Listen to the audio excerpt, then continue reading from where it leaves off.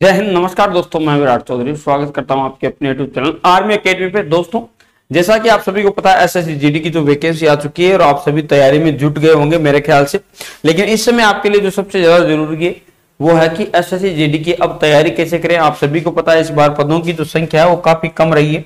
काफ़ी कम क्या मतलब हद से ज़्यादा कम रही है। पच्चीस हज़ार पद ओनली ऑल ओवर इंडिया में। पच्चीस हज़ार दो सौ पोस्ट की ये वैकेंसी है।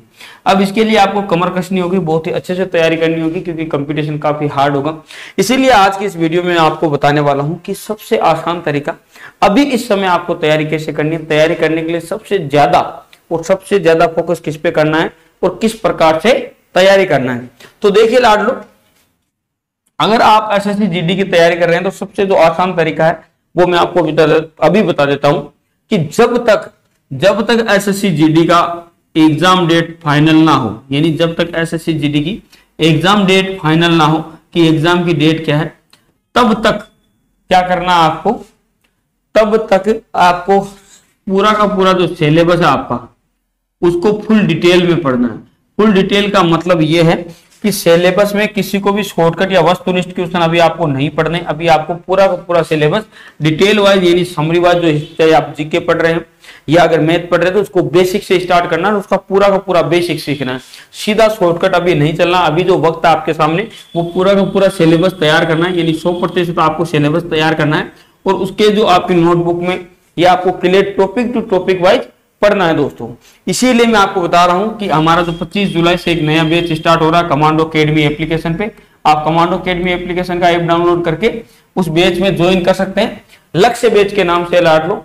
आप वो बेस ले सकते हैं। उससे 25 जुलाई से वो एक बिल्कुल ज़ीरो से शुरू होगा और आपको इसी प्रकार तैयारी करनी है। आप अगर बेस नहीं भी लेते हैं, अगर आप बुक से तैयारी कर रहे हैं तो भी मैं आपको बता दूँ कि कंपटीशन जिस हिसाब से अभी एग्ज़ाम डेट क्या हुआ है फाइनल नहीं हुआ है। और जब तक एग्ज़ाम डेट नहीं आता, आपको बता दूँ कम से कम डेढ़ महीने या दो महीने पहले एग्ज़ाम डेट आ जाएगी। तो जब तक एग्ज़ाम डेट नहीं आती, तब तक आपको सबसे ज़्यादा फोकस किस पे करना है? सिलेबस पे।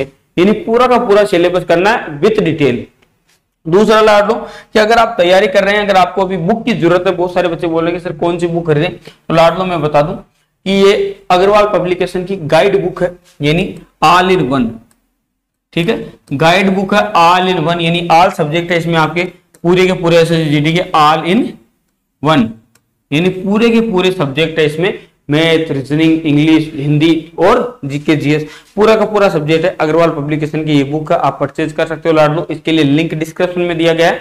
कमेंट बॉक्स में पिन भी किया है। आप अमेजोन से ये बुक अपने पास मंगवा सकते हैं।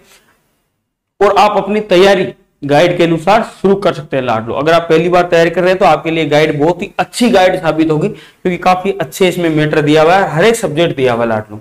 अब दूसरी बात आपको क्या करनी है, इस समय तैयारी करते समय जो सबसे खास बात ध्यान रखनी है लाडलो, अगर आपको चाहिए, आपको जो भी सबसे कमज़ोर सब्जेक्ट चाहिए मैथ ज़्यादातर बच्चों की जो प्रॉब्लम है, वो है मैथ आप सबको पता है कि ऐसे एस में रीजनिंग इजी आती है, हिंदी इजी आती है जी के जी सेम आता है ज़्यादा प्रॉब्लम नहीं तो सबसे ज़्यादा प्रॉब्लम होती है होती है मैथ अब मैथ को आपको तैयार करने के लिए क्या करना लाड दो मैं आपको बता दूँ, मैथ तैयार करने के लिए। अभी जो समय आपका, उसमें आपको सिर्फ़ बेसिक कॉन्सेप्ट सीखना है मैथ का। यानी एक एक प्रश्नावली, जब तक आप पूरी प्रश्नावली को समझ नहीं जाते, सीख नहीं जाते, तब तक अगली प्रश्नावली में एंटर नहीं करना। कहने का मतलब यह है कि अगर आप संख्या पद्धति से शुरू करते हो, और जब तक आपको संख्या पद्धति के, आपका ऐसा ना लगे कि अब इसका मैं पूरे क्वेश्चन कर लूँगा पद्धति के संख्या पत्ती के पूरे क्वेश्चन कर लूँगा, तब तक आपको उससे आगे वर्गमूल में नहीं बढ़ना है। ये बात ध्यान रखें। इस हिसाब से तैयारी करनी, क्योंकि अभी आपके पास में समय है, उस समय को सही रूप से यूटिलाइज करना है लाडलू। अगर आप समय को सही रूप से यूटिलाइज करोगे तो मान के चलिए कि आपको तैयारी करने का मज़ा भी आएगा, आपका सब्जेक्ट भी क्लियर होता जाएगा, धीरे धीरे धीरे धीरे धीरे आप पूरे आसान तरीके से, यानी बहुत ही बढ़िया तरीके से आपकी तैयारी होगी लाडलो। तो इसीलिए मैथ सब्जेक्ट को आपको इस प्रकार से तैयार करना है। ज़्यादा प्रश्नावली नहीं है। कुल मिला के पंद्रह सोलह प्रश्नावली है। आप आसानी से इनको तीस दिन में तैयार कर सकते हैं।